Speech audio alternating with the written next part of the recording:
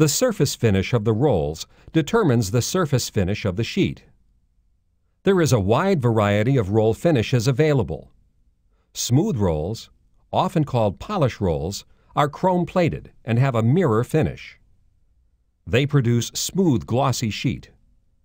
Rolls can also have a matte finish to dull the sheet's surface, or an embossed textured finish to give the sheet a textured or patterned surface.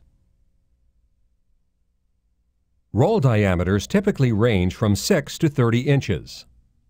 The finishing rolls have a double shell construction with cooling channels running between the inner and outer shell of the roll.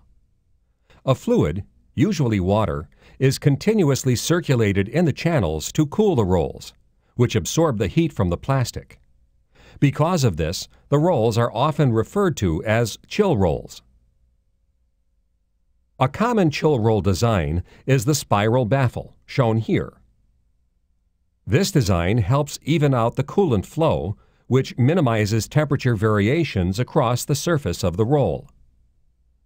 Temperature differences will cause shrinkage variations in the sheet.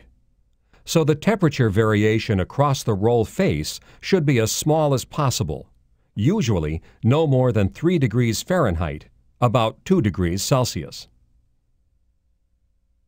Because the temperature of the coolant increases as it circulates through the roll, the volume of the coolant must be high enough to keep the temperature rise to a minimum. The coolant flowing through the rolls must also be free of contaminants, which could build up in the baffles and reduce the cooling efficiency